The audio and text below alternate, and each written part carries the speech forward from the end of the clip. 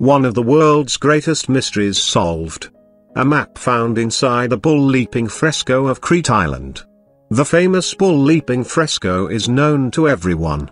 The bull leaping fresco, as it has come to be called, is the most completely restored of several stucco panels originally sited on the upper story portion of the east wall of the palace at Knossos in Crete.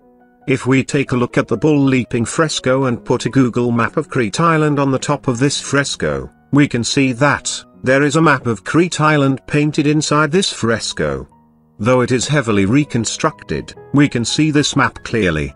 If we extract the map inside the fresco and match with the map of the Crete Island, we can see that the result is quite astonishing. Also, in the north part of both the maps, you can see that there is an island in the same shape. In Google Map, it is Kythera or Cythera Island. Both the map of islands, in the fresco and in the Google, situated nearly the same location. Their size also nearly the same. Of course, it is true that the bull leaping fresco was heavily reconstructed. So the original shape of the Crete island of inside the fresco may not be like the original which was created around 1500 BC. It is true. To understand the original map, we have collected an early image of the bull leaping fresco. After excavation in the Crete island in around 1900 AD, the bull leaping fresco was restored. This picture of the fresco is taken from the book The Palace of Minos, Volume 3 1930 by Sir Arthur John Evans. If we put Google map of the Crete island on top of the bull leaping fresco, we also can see that Google map of the Crete island matches with the inside map of the fresco perfectly. Now a little bit of history. It is possible that the Minoan civilization knows how to create maps.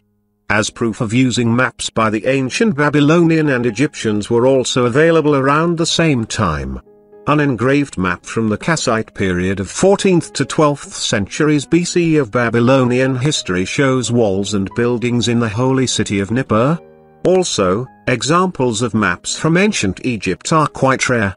However, the Turin papyrus map dated approximately 1160 BC, shows the mountains east of the Nile where gold and silver were mined, along with the location of the miners' shelters, wells, and the road network that linked the region with the mainland. Its originality can be seen in the map's inscriptions, its precise orientation, and the use of color.